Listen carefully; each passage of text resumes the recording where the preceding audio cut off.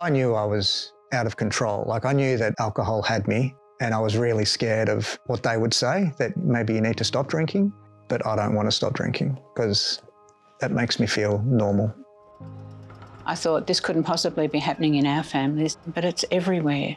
There's no boundaries with this illness. Lots of times people um, will say, How much did you lose? And I say, 10 years of my life. And I lost every last shred of self esteem. And, and I wanted to be dead.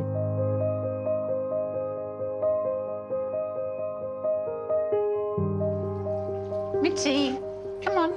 Good girl. I grew up in a home with addiction. My mum suffered with addiction. Not that we knew that until she died of it. And I didn't understand at all. So it set me on a pathway of trying to learn about why my mum was like that. And then it reared its head in my own family.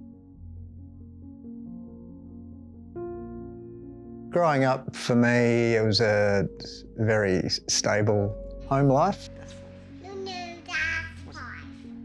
I was sort of introduced to alcohol at 13. I remember the first time I drank and all of those shy feelings just disappeared and I felt bulletproof. By sort of 18, 19, the only escape that I had was through alcohol or other drugs. The message was clear gamble responsibly, set a limit and stick to it. And so just do that. And I just couldn't do it. It just wasn't doable. So I had to be the problem. I didn't see a way out. The way I was drinking for me was really embarrassing. Like I, I didn't want to tell anybody because I felt a lot of shame around the fact that I could not stop drinking.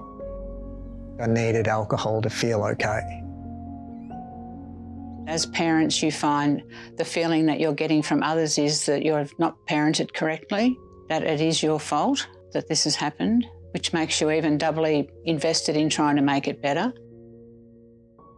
Shame isolates you.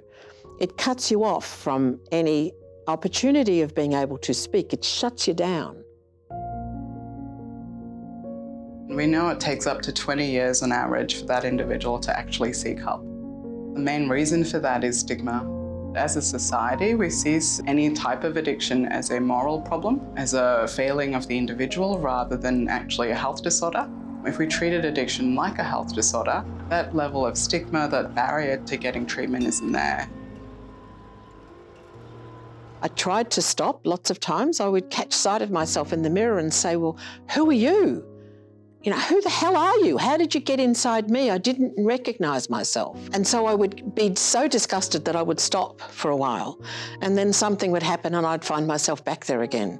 And that happened countless times stopping, starting, stopping, starting. And then finally, I decided I had to do something more. And I started looking for answers. To not be able to picture life without alcohol and then to enter treatment, it was, it was really scary because, like, how do you do life without substances? How do you go to the shops? The bravest thing I did was ask for help. The bravest thing I did was make the phone call to Gamblers Help and say, I need help. I walked in and everybody was very happy and chatting and laughing, and I found that really quite comforting. And then we sat down and had the meeting, and people were talking about honestly what was going on in their lives and how they were managing that. And I found that combination of seeing how happy they could be and what was actually going on in their lives, I wanted to be able to do that. I wanted my life to be able to go on, even though this stuff was happening in my life that I didn't like. You don't have to be homeless, you don't have to be living in a park, you don't have to be using in an alleyway to be someone who lives with addiction. It can be your next door neighbour, it can be the person you walk past in the supermarket. I'm more than my sad story. I'm the things I believe and think and care about, and I want to talk about other people, making it a space that's possible for them to tell their stories. I think we need to really shine the light on that so that people can access treatment sooner rather than live in shame and, and guilt and shorten that time frame that people have to live in that space. Well done, Dale. If there was different messaging out there, who knows if that could have been shortened and the life I'm living today could have started a lot earlier.